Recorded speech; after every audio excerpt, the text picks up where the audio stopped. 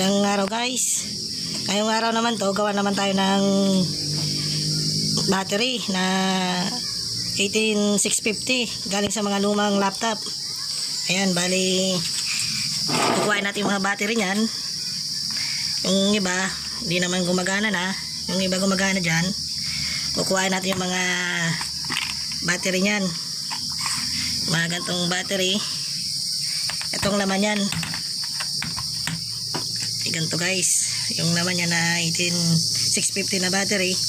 Gagawin natin ng pang backup natin sa solar para magamit natin. Yan babaklasin ko lang.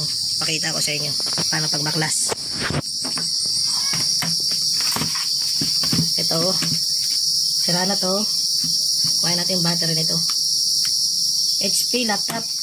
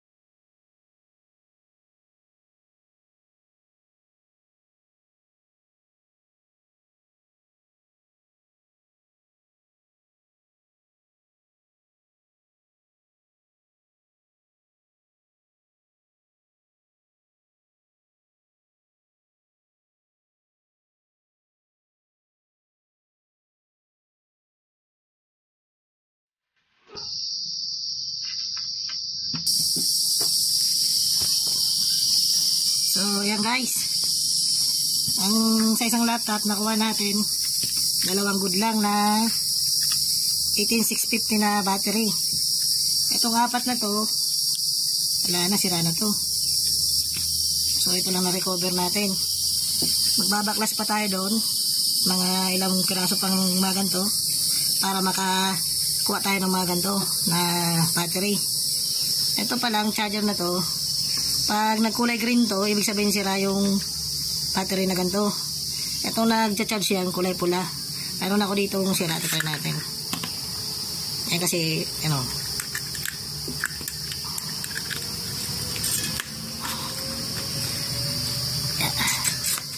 Ayan. So, green siya.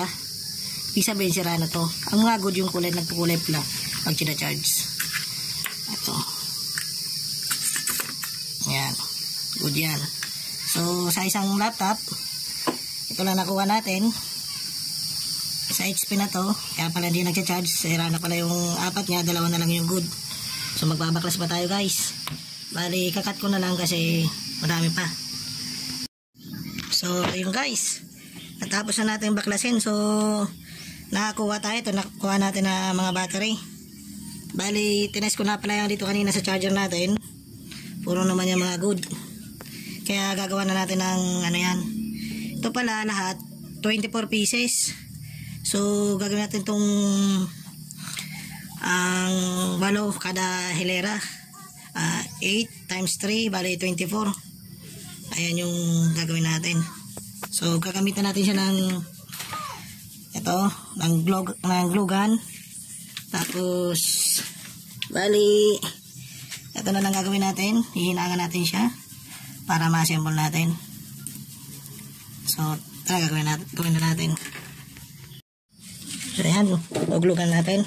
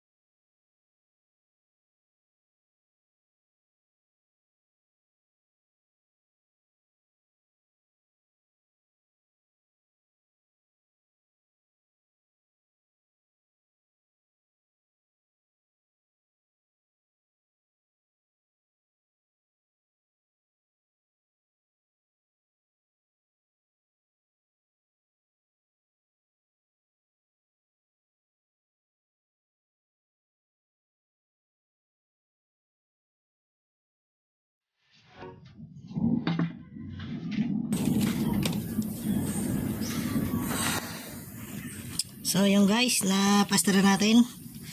Bali, babalik rin pa natin to para mapasta pa natin ng sa ilalim para matibay siya.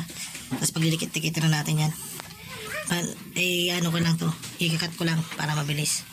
So yung guys, na ano natin, napadikit na natin siya. Ayan, napadikit na natin. So gagawin natin ito pag papatong-patugin na natin siya parang ganyan. Pero ihinangan muna natin siya. Gamit tong ano to? Copper wire. Ito guys yung copper wire natin. Hinangan natin siya. So hinangan na natin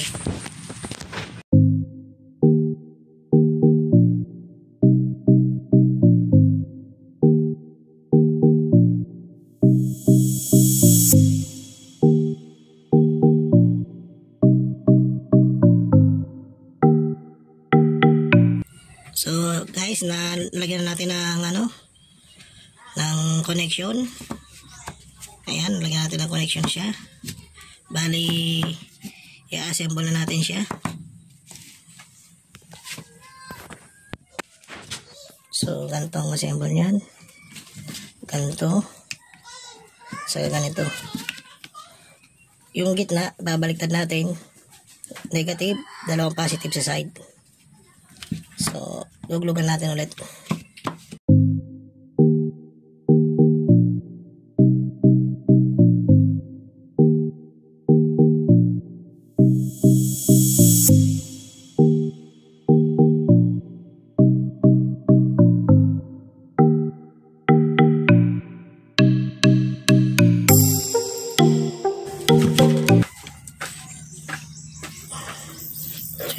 Tapos na. Tikit na siya. Bali, lalagyan na natin siya ng wiring. Ito pala yung ano natin, yung ano nito kakabit natin na pyesa para sa kanya. Para di masira kagad yung battery natin.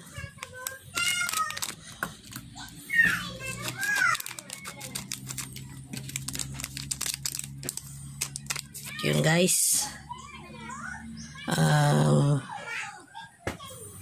ito yung negative natin. Positive. 0, 12 volts. 4.2. Isang battery. Jumper sa baba. Jumper sa taas. 4.2 plus 4.2. 8.4. Tapos sa pinaka, pinaka natin, 12.6.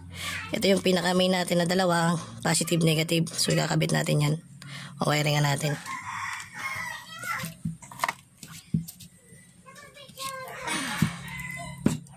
Ito natin nalagay. So, ano niya, ganito. Tingnan natin double-sided tape.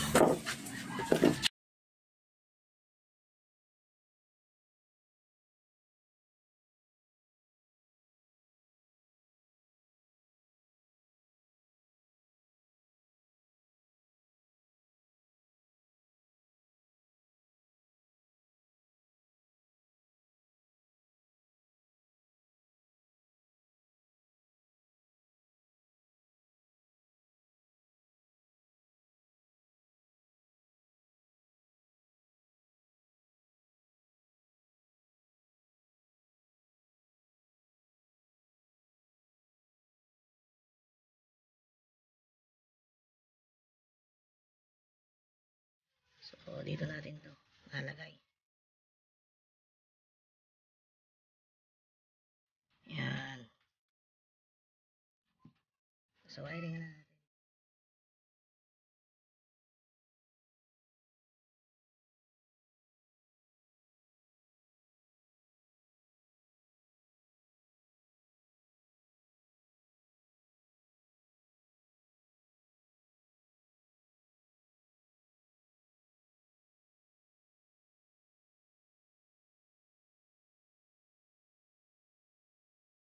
Jajump muna tayo rito.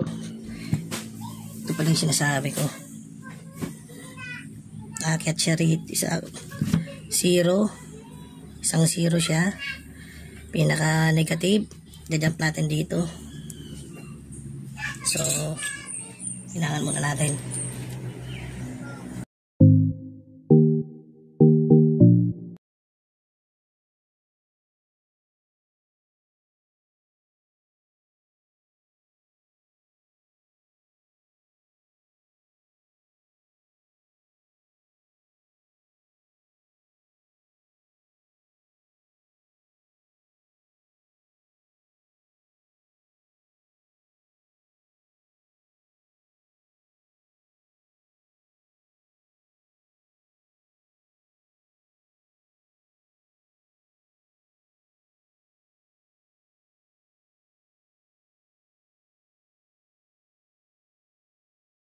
So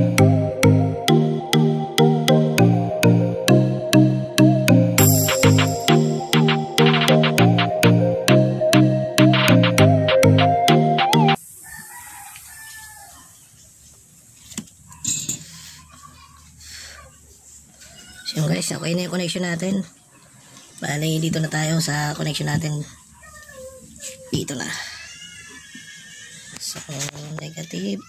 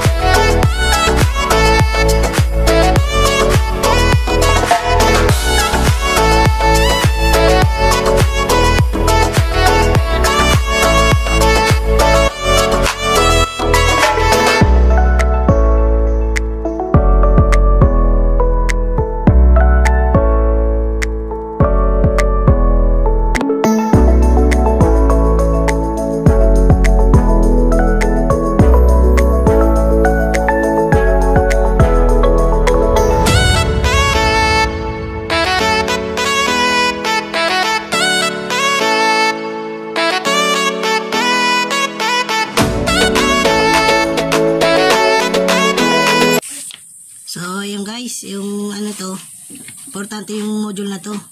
Pag nagkabit kayo ng gantong lithium battery na 18650, kailangan talaga to, hindi pwedeng hindi kailangan to kasi ito yung protection sa battery natin para matagal masira o hindi kagad masira. So, ngayon, test na natin siya. Gagamitan natin ng inverter kung ano bang mga appliances ang pwedeng gamitin dito. Try natin sa appliances natin. So, testing natin guys sa inverter para tingnan natin kung magandang labas ng 220 sa kanya. Kung ginawa natin, testing natin, kabit natin sa 220 na inverter. Inverter natin 1500 watts, 12 volts, DC. Kukonvert niya ng AC 220 to 30 volts pang solar. Yan. Positive. Negative. So, try natin. Ayan. Kuha tayo ng extension.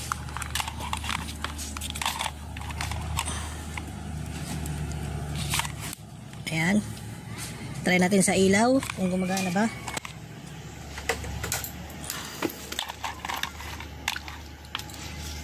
So, ilaw.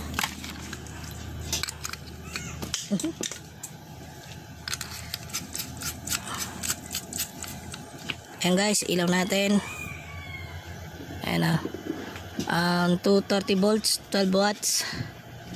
Ayan. Tatak niya one stop. Ito yung ano niya. Ito yung kable niya. Saksak natin. Ayan guys, gumana. 220 to. Off natin on so try natin sa electric fan tabi natin to.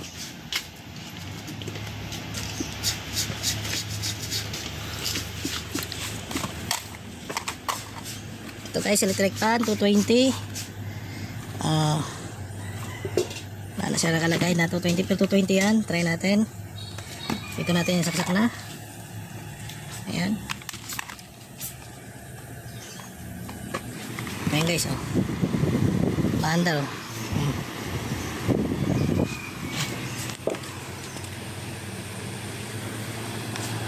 maandar ito lang naman guys yung mga ginawa natin. Ang backup lang natin yan.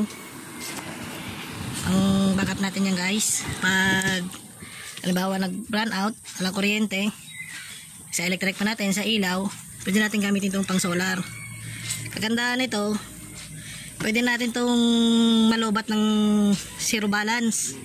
Deep of discharge nya di katulad sa mga lead acid na battery 50% lang ang deep of discharge. Kaya ito kanda kahit maubos yung charge nito pag na-charge ulit okay na naman siya.